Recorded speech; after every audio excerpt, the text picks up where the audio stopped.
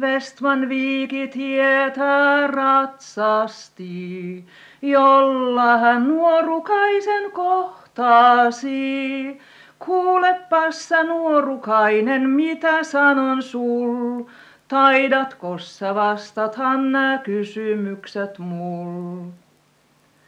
En ole oppinut vastailemaan, eilen tapoin tämän maan sen viikin kuninkaan. Tapoitko sä tämän maan sen viikin kuninkaan? Silloin sinä tapoit minun veljen.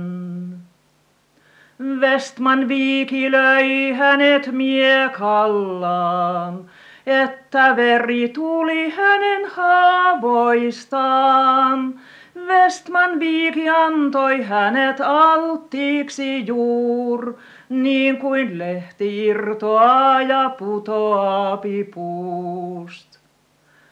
Westman viiki tietää ratsasti, jolla hän nuorukaisen kohtasi. Kuulepassa nuorukainen, mitä sanon sul, taidatko sä vastathan nää kysymykset mul? Olen minä oppinut vastailemaan, viisan järjen antoi mulle Jumala. Jos sä tahdot kysyä ne kysymykset mul, niin mä tahdon vastatan ne vastaukset sul. Mikä sitä lintua vikkelämpi on, mikä sitä korppia mustempi on, mitkä ovat valkeammat joutsenia, ja mikä huutaa kovemmin kuin kurki. Ajatus sit lintua vikkelämpi on, synti sitä korppia mustempi on. Enkelit ovat valkeammat joutsenia, ja ukkonen huutaa kovemmin kuin kurki. Mikä sitä ympyrjäistä ympyrjäisempon, missä ne kirkkaimmat kynttilät on, missä ampi maajansa auringolla, ja missä ovat kuolleen miehen jäljet.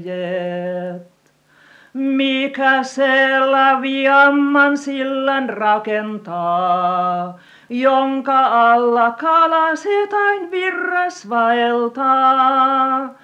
Mikäs on se niin sangen lavia tie, jota myöten ihmiset ain keviään vaeltaa?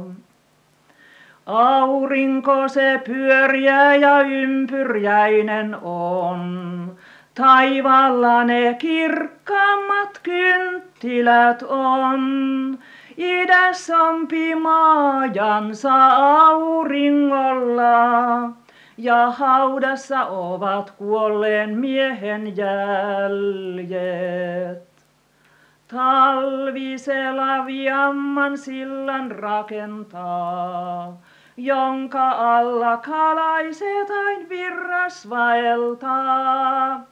Helvetin tie on se lavia tie, jota myöten ihmiset ain keviäst vaeltaa.